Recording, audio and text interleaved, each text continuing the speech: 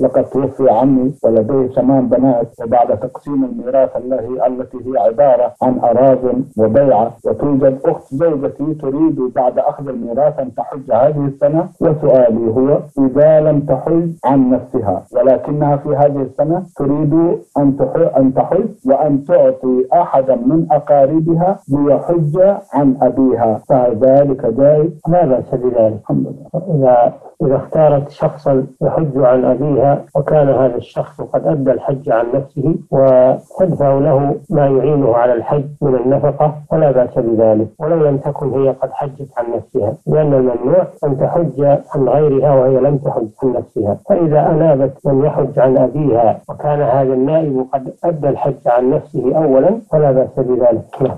كونها تحج عن نفسها وتحجز آخر عن أبيها في نفس العام. هذا لا يؤثر شيخ صالح؟ لا يؤثر. الحمد لله. إذا أنابت عن أبيها من تتوفر فيه الشروط طيب. فهذا لا يؤثر سواء حجت هي في هذا العام أو لم تحج بارك الله فيكم. جزاكم الله خيرا.